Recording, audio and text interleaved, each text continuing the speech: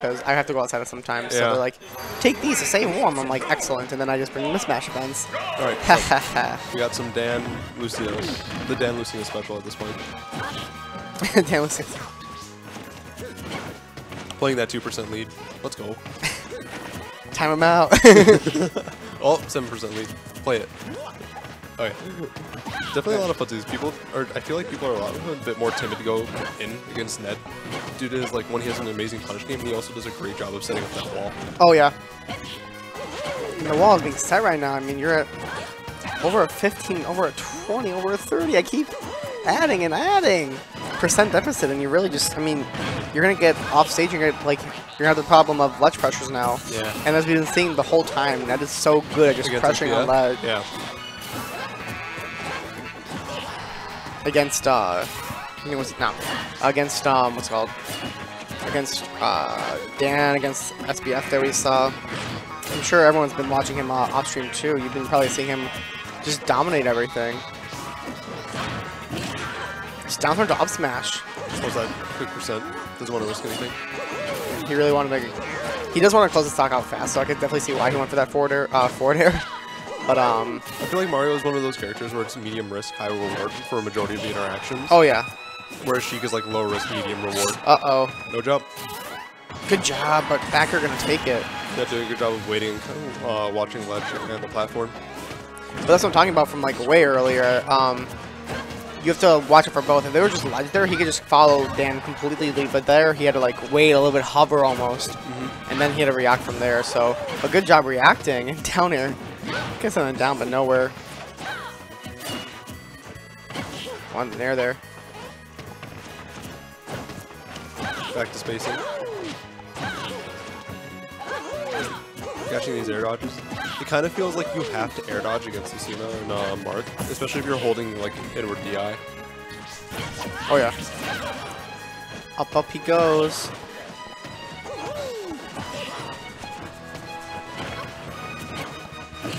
Now smash Oh, he got couldn't that take it, smash, yeah. Wow. a really good extra credit there by uh, Ned. I mean, 100% is so like juicy. If you're Danny, I think you're just gonna like pay a bit, pay more patience. Just yeah, go for like stuff that he can't punish you really for, or get out of. Because like as we've been saying earlier, you know he can get out of those uh, combos. So I feel like Dan is kind of struggling with the. There are certain types of combos you can go for that um that like kind of over like bypass the whole up being out there out of uh combos with the mid frames. yeah, Brain the like word for it.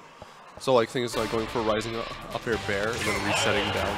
With Yeah. Kind of reset or going in for like a back air run up shield and then like I feel like he's not incorporating this kind of 50 50s in those combos. He's just going for the minimalistic combos. so going to uh, Smashville now. This is his favorite stage, Oh yeah. especially for his matchup. It looks like. He's been doing pretty good on it. I mean, sorry. He's been doing pretty good on it. Um, I mean, before in uh, winners semis, but I mean, now I feel like Ned's just kind of like rolling over him. I feel like there needs to be like a change of pace almost. I feel like Ned's been really dictating this whole. I mean, even since game one, he's been dictating pretty much the pace, and um, it's been hard for uh, Dan to really catch up. I would say. Here's that damage you needed. Yeah, but you're so behind him. Like, I mean, like I said, that's pretty much been dictating. Like, you get that quick percent, sure, but unless you're like taking stocks, like as he takes stocks or earlier than him, I mean, you're gonna be behind pretty much. I feel like. Yeah, I can, I can kind of see that.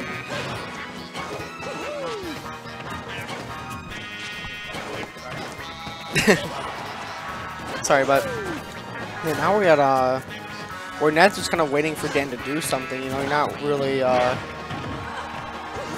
how do I say that? You're not really.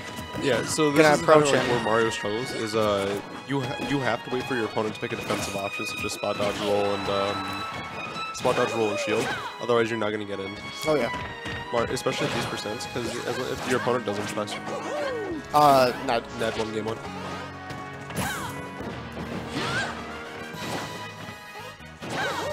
Yeah, so like even in these situations, Dan kind of is struggling. Oh, I haven't took the stock yet, but now, I mean, Dan's like living pretty, pretty well. but I'm still gonna take it, of course. I'm proud of you. Don't look at me like that. Those beautiful eyes. What? I mean, uh, this up to Ned though. But Dan was living for like a while there. He um, 150. I guess I mean Lucina is a long time. I would say. Yeah, it definitely. Well, like even with Lucina, she does still kind of fall for some of the things that uh, Marth falls for. Good DI. That uh, Marth falls for. Uh, where like you can't get that kind of that kill, and you don't want to commit to the F smash for the F smash. So Yeah. you kind of just wait it out, and then Lucina has better kill options at those percents, so up tilt, F tilt, and uh, rising up there. Yeah. But no, I mean he's he's put 60% on Dan already, and it's getting. I mean, pretty. How do I say? Pretty scary for Dan. I mean, a couple combos. I mean, will definitely uh, get this uh, percent more even, but you have to also remember that Ned will also just rack, keep racking up percent like he is now. All the percent that you added, he just made up already. That, increase the that's definitely winning majority of the exchanges. trying for like an air dodge there, I think, but never will get it. I And feel like it's been- Dan keeps waiting for air dodges that aren't really there. Yeah.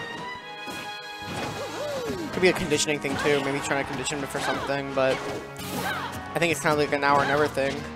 Because if you don't win this game, you're at the mercy of um, either getting 3 0'd or you're at the mercy of two of Ned's counter picks. Yeah.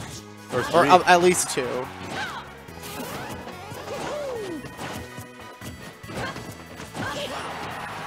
Fortnite not gonna take it yet. Very scary. Up tilt, Great gonna up take it. Dan Dan looking does a not look happy, frustrated. yeah. Yeah. I mean, you, you came from, you know, winners finals after beating him. Granted, they were not the closest games, but you still beat them, you know? So you really, I feel like, you're not as, I don't think not warmed up, but you're not as, um, Never feels like the Lucina Yeah. Bowser. loser. Loser. We got some Bowser going on. Oh, we got Crash here walking in. What's up, Crash Gear? Right now we got Bowser, so Dan showing us some grapplers real quick, and uh, I like this I feel like this is like the same boat as DK. I mean, you're not gonna have the best time because you're a grappler, but You never know. maybe Dan's actually better than who's a really good Bowser, like Tweek, or no, Tweek is DK. Uh, Nairo, there we go. One of the grapplers, but still, you have to very, he's, he's very careful about that. I mean, Dan or Ned's kind of steamrolling at this point, but I mean, Ned's ledge trapping is actually insane, like really good. I Okay. have to say insane like 50 times about his little trapping. It's just so good. It's gonna whirling fortress there, get some quick percent, but I mean you're still super behind. Jab him a couple times.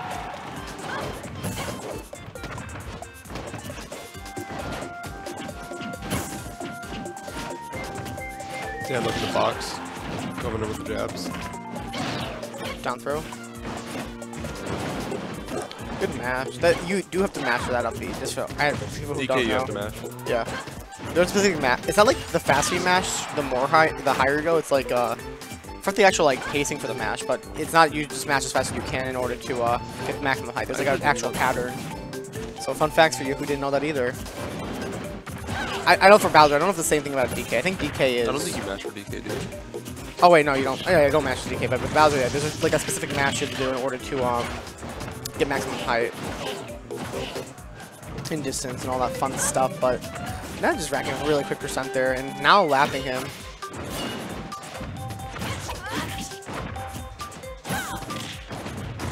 Kind of it's kind of interesting is uh, Ned's avoiding going for the uh, just going for dash grabs. He's mainly spacing with the uh, falling areas. Oh, Okay. Oh, oh, oh. I think Dan's just uh, trying to have a little bit of fun right now, but going to the grab there. Getting the up tilt too, quick 14%. And this is actually a really scary position. I mean, in general, DK with, or any of the grappling rage can kill you like really early, especially 60, Bowser. 70%. Yeah, especially Bowser though. Like he um he has really good options. Uh, especially for shield breaking. Uh, he's a pretty good option there too. So see what happens.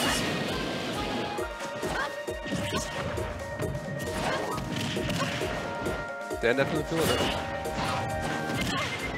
I think at the grab he dies. Yeah, one pummel me. Oh, No, definitely just grab he dies. I'm pretty sure at this point at least. Oh no! Not gonna stock yet. okay. Oh no! Earl has big eyes right now. he might be outside, outside of uh, Koopa percent. You never know. 70%. This might be like the la- he can't probably can't get hit. What? I'll be time. gonna Yep. take it. Good job Ned. Uh, definitely really fun Bowser. DK from the I really enjoyed seeing those. Just having fun with it. Oh yeah. So we got